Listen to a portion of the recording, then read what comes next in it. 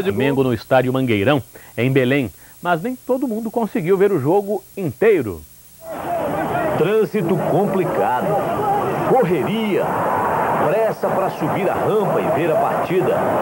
Quem teve problemas para chegar na hora do jogo não viu este gol perdido por balão.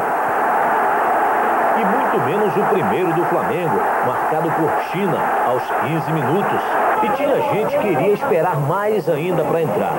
Olha o tamanho dessa fila numa das bilheterias. Estou aqui aborrecido, mas o Pabão vai fazer um gol lá. Vamos ver se dá para pegar pelo menos no segundo tempo, né? A torcida do Paysandu ainda viveu momentos de aflição na arquibancada, como neste lance em que Jean driblou Paulo Mussi e Flávio Tanajura salvou em cima da linha.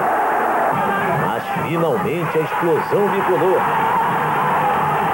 depois que Balão ganhou a jogada de André Bahia e tocou para Vinícius, sem marcação, empatar o jogo.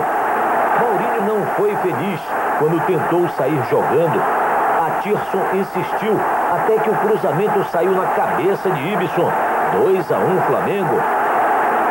Cruzamento de balão e quem pegou de primeira foi Maurinho, se recuperando do lance anterior e empatando a partida mais uma vez.